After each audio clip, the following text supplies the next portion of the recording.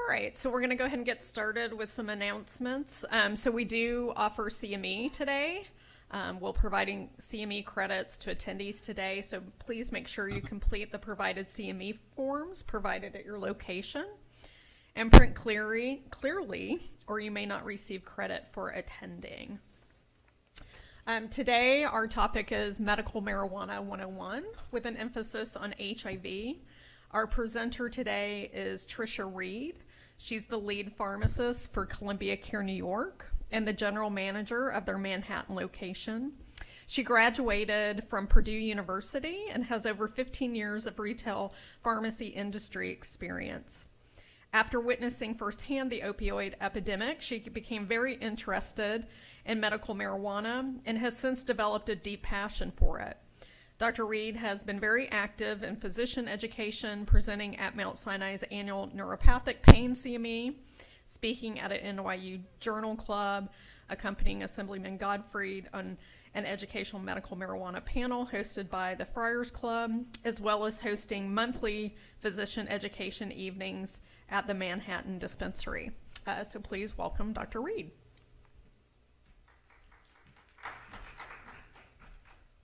Thank you so much for having me today. So I'm going to talk about medical marijuana 101 um, with an emphasis on HIV. Um, explain the medical marijuana program in New York, um, as well as the pharmacology of the plant, um, and then how you would dose it and prescribe it to your patients. This is just a disclosure statement saying that nothing is um, approved by the FDA or DEA. So Columbia Care is um, dedicated to setting the standard of care for medical marijuana. We are located in nine states, um, and that number is growing rapidly. Um, we're applying for licenses in multiple other states as we speak.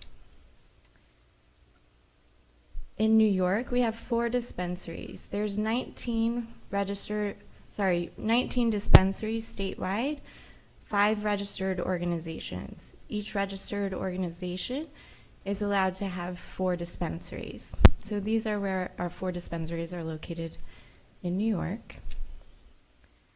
And in New York, it's a very, um, our program is very different in the sense that we have to grow our own product, we manufacture our own product, and then we distribute and dispense our own products. So we grow all of our product up in a cultivation center up in Rochester, New York. Goes through um, CO2 extraction. Then it goes through a testing process in-house, and then it's sent to a lab uh, mandated by the state, Wadsworth Labs. Uh, we have a 5% variability rate uh, whereas most generic companies have a 10% variability rate. In New York, there's 11 qualifying conditions. Chronic pain was newly added um, just two weeks ago. Neuropathy, cancer, spinal cord injury, inflammatory bowel disease, MS, epilepsy, Parkinson's, HIV, ALS, and Huntington's. And each of these qualifying conditions must be accompanied by an associated condition. So severe pain, muscle spasms, nausea, cachexia, and seizures are those conditions. There's about 16,000 registered patients in the state of New York right now. Um, that number is growing as chronic pain just got added, um, and 935 registered practitioners. So in order to get registered as a practitioner, you simply take a four-hour CME course. Um, you register with the Department of Health, and then you're ready to start prescribing. Or recommending, I should say. It's not an actual prescription. Um, and for the patients, they contact a registered physician to get certified. The physician prints out a, an 8.5 by 11 sheet um, certificate. I'll show you an example um, as we go. Then they can apply online for their state ID card and then make an appointment at one of the dispensaries to come in. So when a patient comes into a dispensary, they have their certificate and their ID card. they check in with um, a security guard at the front door. They'll check in like a normal doctor's office, um, and then they wait to be seen on their first appointment by a pharmacist. Um, we do an in, in-depth consultation with the patient. Um, we discuss all of their symptoms, their current medications, their marijuana history, um, the ratio appropriateness and benefits, and the and how to use the actual products. So, what makes cannabis medicine? Cannabinoids are the organic chemicals in the marijuana plant that have the pharmacological properties. There's over 500 compounds in the plant, and at least 85 of those are cannabinoids. THC and CBD are the two most prevalent cannabinoids. So, how does cannabis work in our body? So, we produce endogenous. Step back. Sorry. So, our body produces endogenous cannabinoids. We can get cannabinoids from plants, and then there's also synthetic pharmaceutical derived cannabinoids. They attach to endocannabinoid receptors, CB1, CB2, and TRPV1. And the endocannabinoid system is involved in regulating a variety of physiological processes appetite, pain, pleasure, immune system, mood, and memory. The three cannabinoid receptors, CB1, CB2, and TRPV1, um, all make up the endocannabinoid system. CB1 is highly expressed in the brain and CNS. It's responsible for neurotransmitter release. It's not prevalent in the brainstem, which may account for the lack of deaths related to, to marijuana. And it's 10 times more prevalent in the CNS as compared to the mu opioid receptor. Should I pause until this comes back up? Okay, we're good now.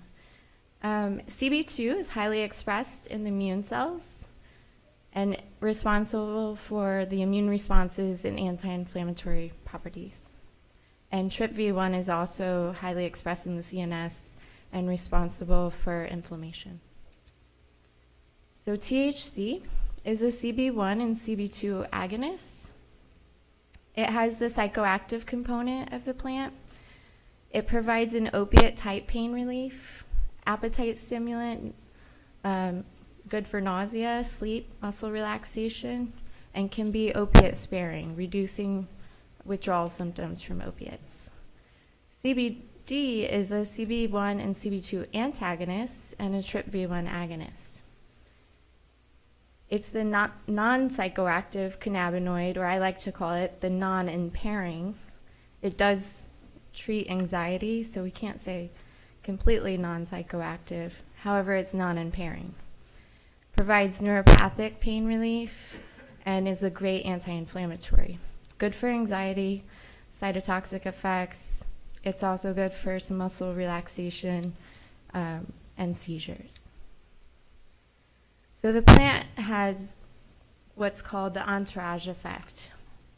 There's lots of different cannabinoids in the plant, THC and CBD being the two most prevalent, and they have synergy. So they work well in, in the presence of one another.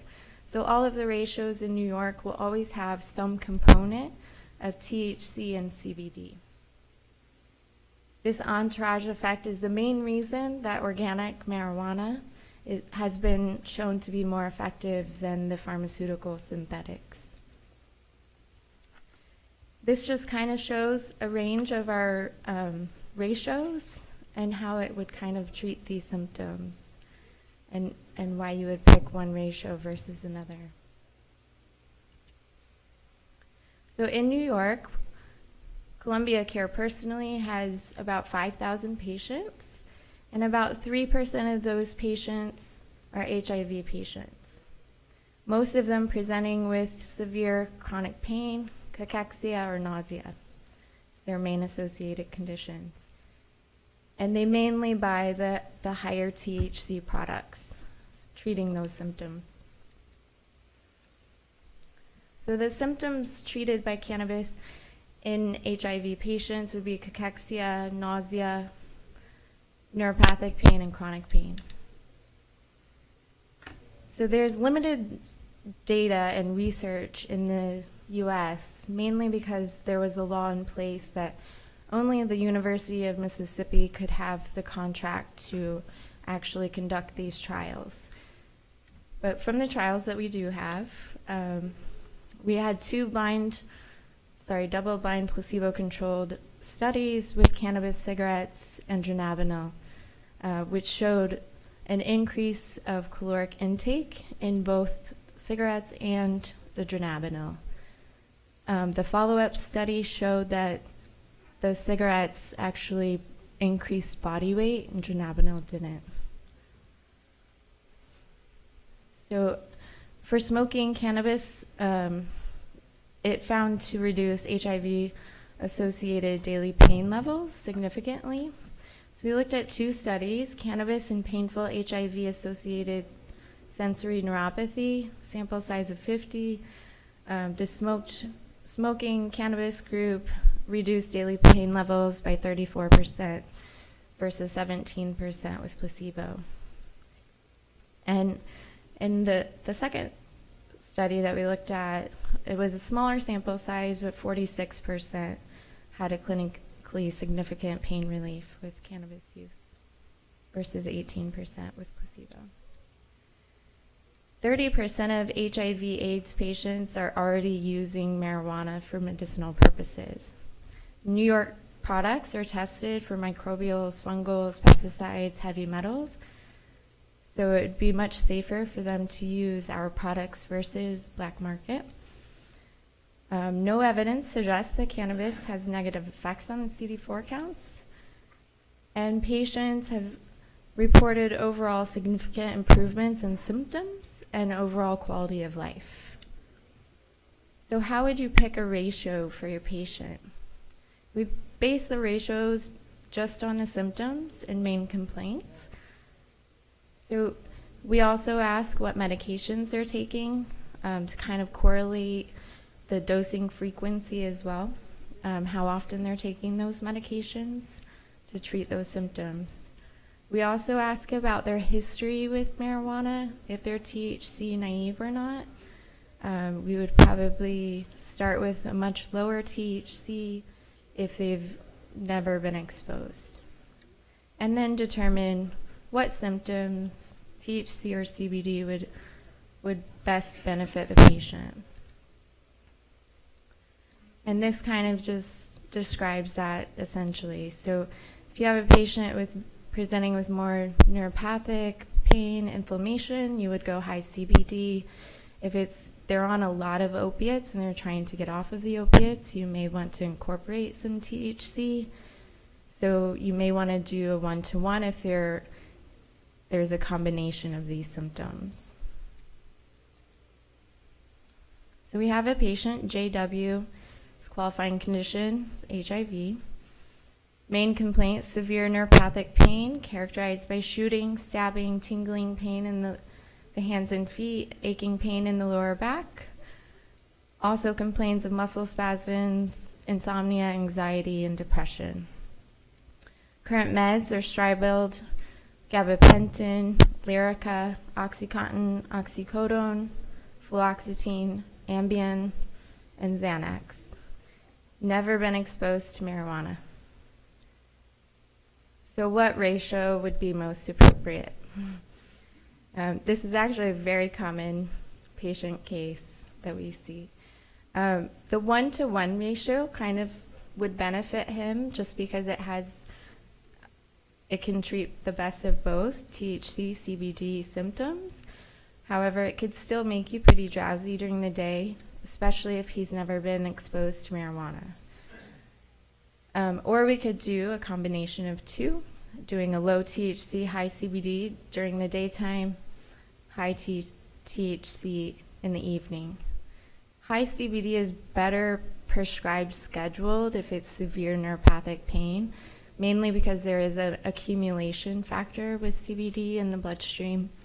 So we normally warn patients you might not see results for one to two weeks Um, so THC is more of a, a quick fix in terms of treating their pain.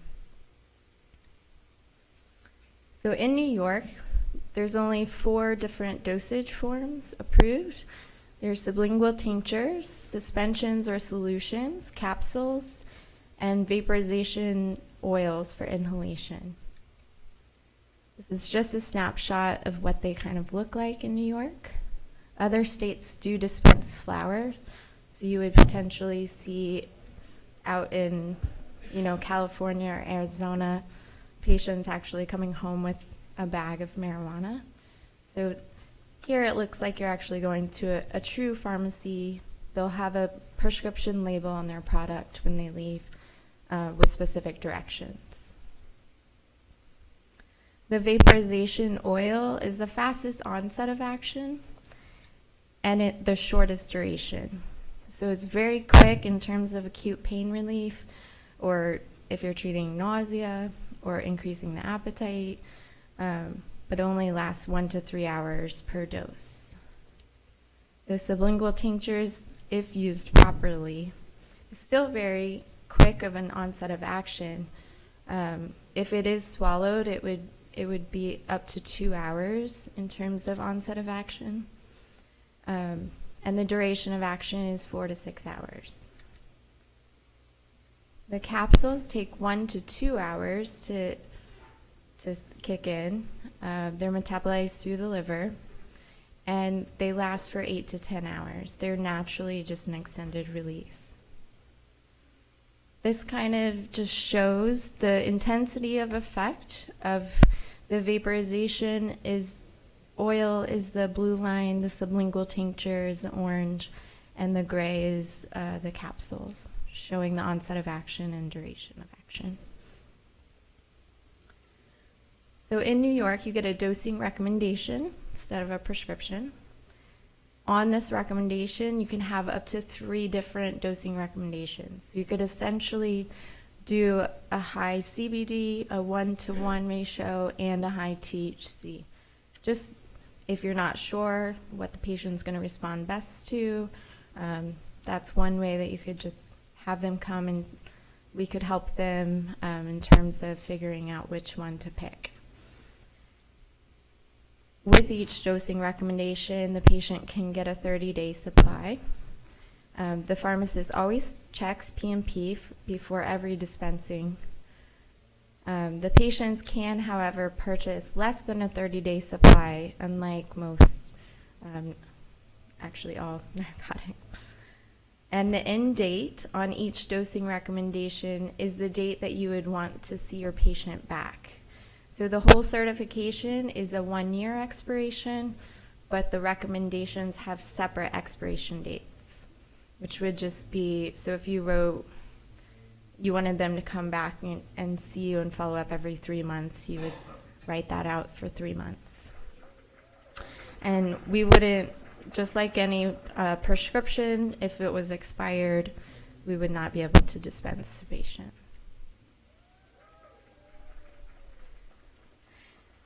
So the side effects of, of medical marijuana um, basically vary by patient and ratio. If you have more THC, you're probably going to experience drowsiness or an increased appetite. High CBD can actually give you an increase of energy or a boost of energy. Um, could also make you more cognitively focused. So that's the non-impairing one. Um, this slide, the, the main thing about this slide is basically saying it's very safe um, and a great alternative so, um, to some of the other medications that you're going to be using. Drug interactions that we caution for are any drugs metabolized by cytochrome P450. Inhibitors can increase the plasma concentration of THC and CBD, and inducers can decrease the concentration, making them less effective. We don't know the extent of these interactions, so we caution patients. So if a patient is taking Coumadin, I'll just um, let them know that they should probably follow up with an INR or you know, ask how things have been going and making sure that they're controlled at the moment. Um, same with diabetes medications, um, just letting them know there's a chance of hypoglycemia.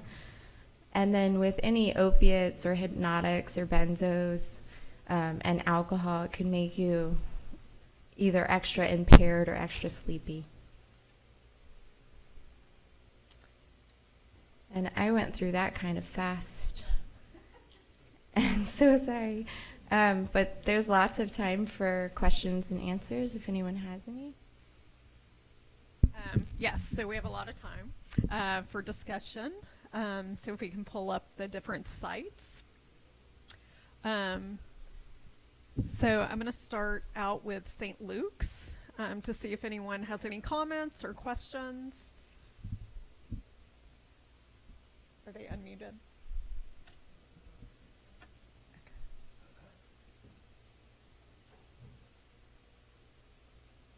Hi, Chris. Does anyone have any questions or?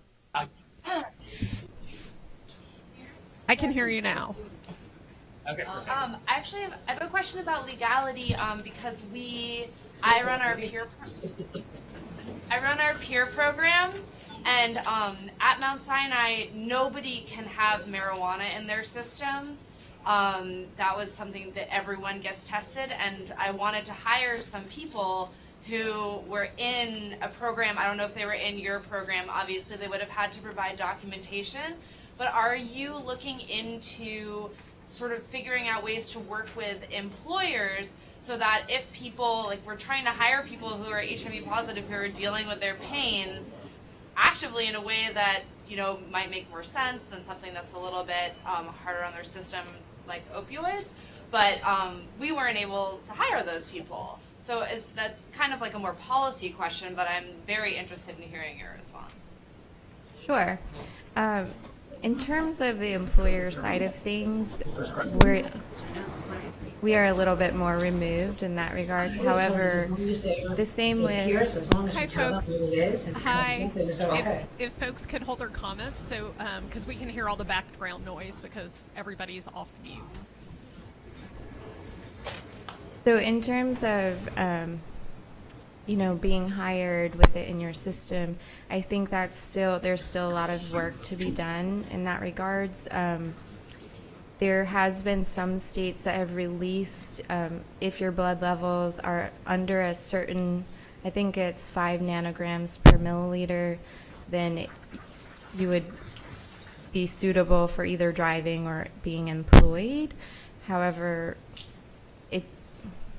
that's still very very variable because you don't know if they've just taken a capsule when they've been tested and it's going to kick in two hours later not in the bloodstream yet. So that is something um, i would say in terms of policy i would it would be the same as letting pa- you know patients work while taking opioids um, as long as they're not physically impaired would be I don't know how you would write that into the actual policy, though.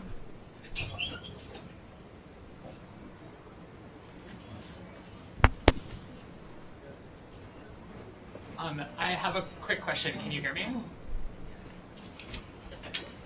Yeah. So let's finish with St. Luke's, Okay. and then we'll come back down to Mount Sinai Oh. West. Go ahead. Okay, go ahead. Okay. Um, so this was actually a topic um, on Late Night Tonight with John Oliver. He had a really interesting medical marijuana program or bit on his show, and he actually interviewed one of he actually interviewed like the, the principal investigator at the University of Mississippi, and it you know he talked about how this is the only research site that's actually like licensed or, or accredited to do this.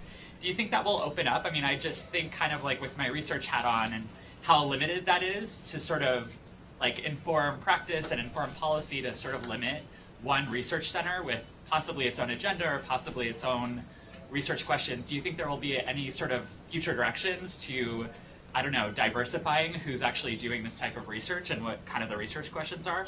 Yeah, absolutely. Um, there was actually a bill passed in 2016 um, allowing more universities to to participate in research. So, Columbia Care specifically, we are working with a couple universities in New York, um, already trying to get some research done with our products. Um, our products are the only products in the U.S. that are controlled dosing, so I think the research will be much more precise and better. Um, and will open up just a ton of opportunity in, in terms of research. Great, thank you. Any other questions or comments from St. Luke's before we move on? Great. So I'm going to move it over to Mount Sinai West. Looks like we have a couple of questions. I had question about the interactions with the HIV medicines and how to, if you have any guidance in terms of somebody Yeah. starting being a cy- cytochrome P450 inducer. Yes, um, definitely those those CYP450 um, enzymes. I know a lot of the ARVs um, do interact. Um, there was a statement released that the pharmacokinetics showing the interactions didn't actually. Um, sorry, um, lost my train of thought. So they didn't actually affect the ARV therapy in terms of the effectiveness. It was more based on the THC CBD effectiveness side. So I think there's still a lot of research to be done. I think that in terms of um, what they do know about not affecting CD4 counts, there's actually a study, um, I believe it was based out of Harvard, that showed CD4 counts were actually improving um, with the use of marijuana, which was very interesting. So it, it's a caution to look out for, but it's not a contraindication. Great. And if folks would mind, if you're speaking, if you could mute um, so we can hear the other conversations. Um, who's next? You? Okay, great.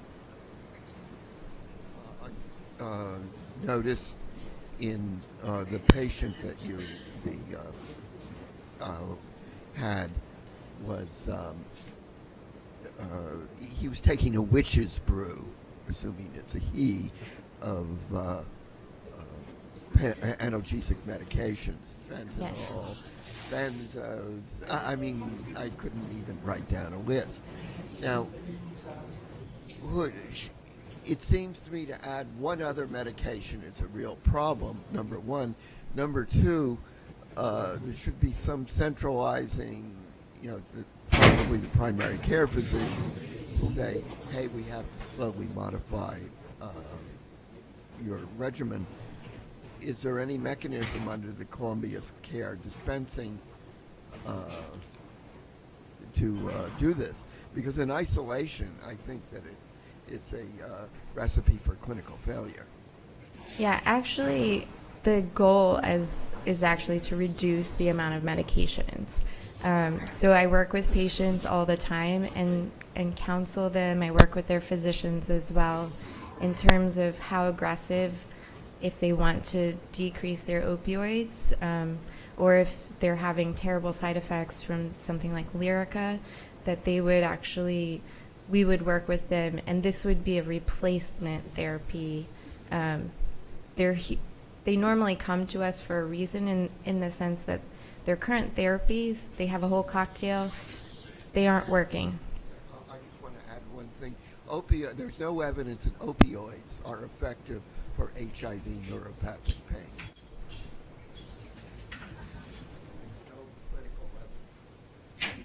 that's true it's not but they're used a lot because they're i think that the doctors are or prescribers are pushed into a situation where they're trying to get pain relief for their patients and and that's what they end up using.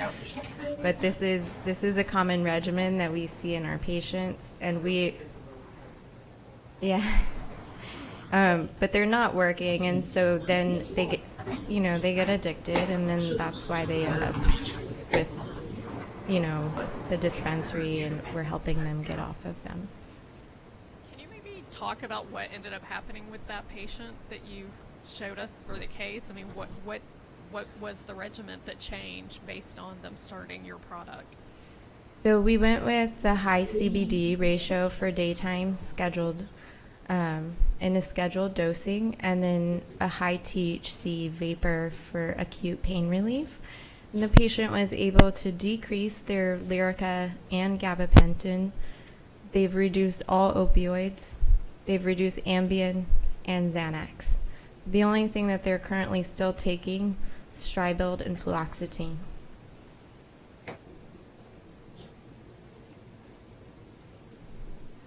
Um, I actually have two questions. One is on coverage and cost, and the other one is uh, what would be your recommendation in terms of coverage among providers? Like, you know, we have a practice with nine um, providers, seven are part-timers, and let's say one or two of the providers are certified but not others, it was my understanding that the prescription can be good for months. So if it's not like opiates that you know we cannot give refills. So I'm not sure the logistics of uh, how would it work and how other practices are doing.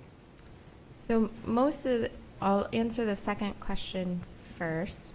Most of the physicians are writing for about three months out and having them follow up. However, we have we do have quite a few that are giving a full year prescription, um, which allows them to come for a 30 day supply, or they can come because it is out of pocket. Um, we aren't seeing as much abuse. It's very, it can get very expensive. Um, however, that is a limitation. So the average monthly cost is between two and three hundred dollars per per month. Um, we do have so the vaporization oil, if you are just using it as needed, um, comes in a a pre-filled cartridge, and it's dispensed for hundred dollars, and that could potentially last a patient a month. It just depends on how they can ration it, essentially. Um, but it can get very expensive if they are trying to really reduce all of their other, other opiates, hypnotics, benzos, that sort of thing. That could get very expensive. Um, but we have seen it done with smaller doses.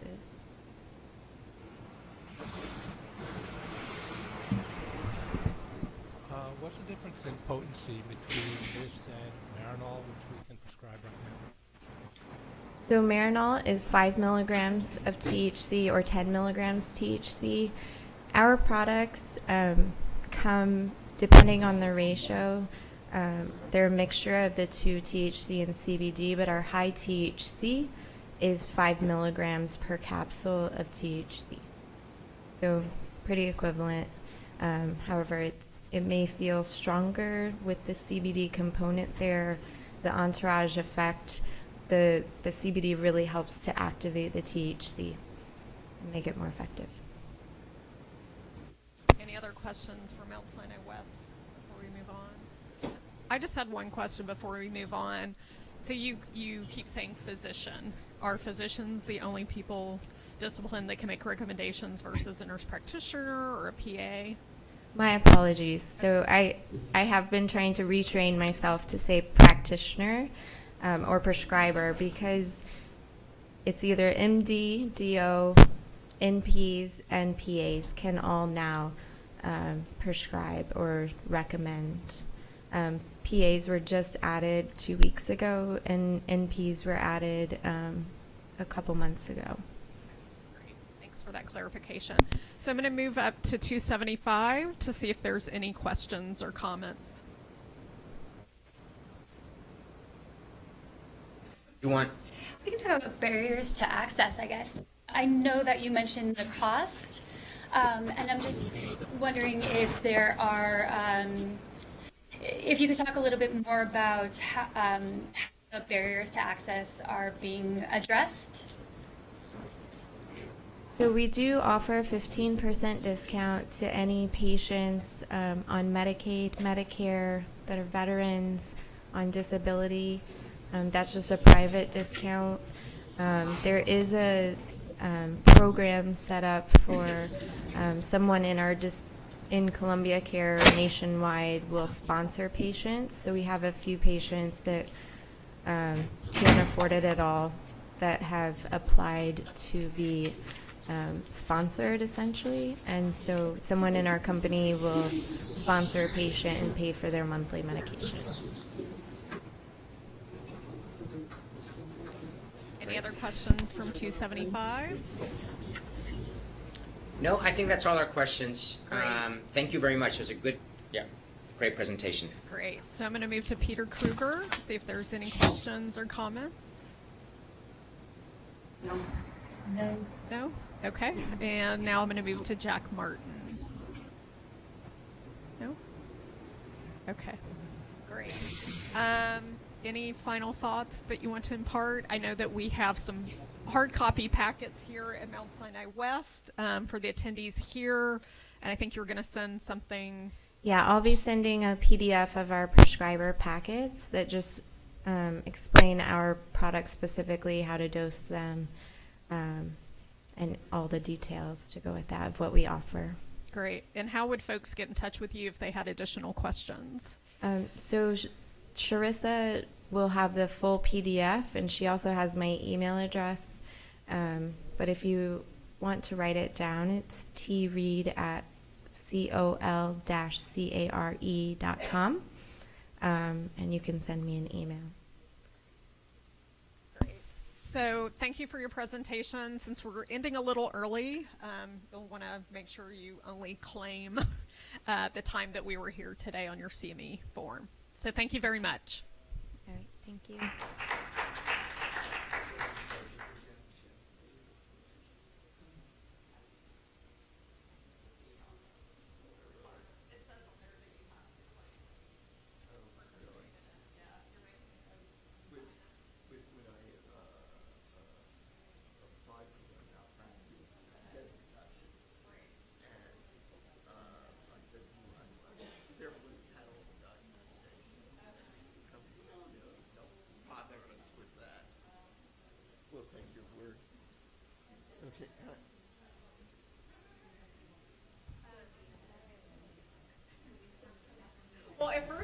like she has 37 slides, and she'll be able to stretch it out. I was thinking the opposite because I normally, and maybe because women in the discussion, I get a lot more questions right. during the presentation. Right.